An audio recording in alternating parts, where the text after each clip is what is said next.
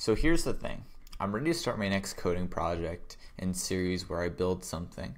And what I was going to do was do a Fortnite API or use the Fortnite API.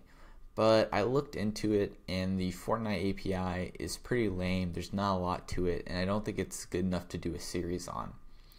So I scrapped that idea and now I'm thinking about what I want to do instead. So some ideas I had were doing like a Twitter clone, Stack Overflow clone, you know, Spotify, some big application and building it. Um, another thing was maybe a workout application. Um, but then I was like, it'd be kind of cool if I built something that wasn't just a copy of something else. Maybe it was something useful um, that someone wanted or something someone needed in their life. So what I wanted to do was kind of just open this up to you guys and see if there's any applications that you'd like to see me code or have any suggestions. Now, ideally they're not super complicated or if they are, we'll just do like a smaller pairing of it. And there's a few requirements for these. So what I'd like to do is both showcase how to build a web application and a React Native application and kind of share code in between.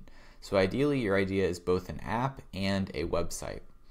And now we're going to be using React for the whole thing and some other things. I don't want to do any type of like scraping or machine learning. So hopefully it doesn't require any of those things. Um, but yeah, let me know in the comments below if there's anything you guys would like to see.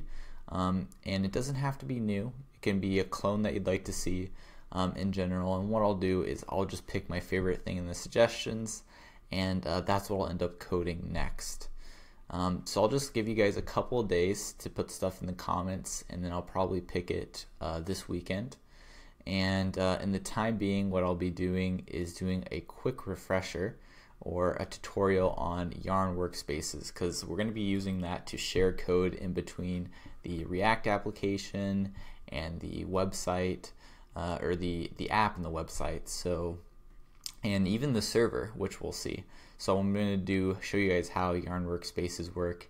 Um, and yeah, so that's what's coming up. And yeah, that's it.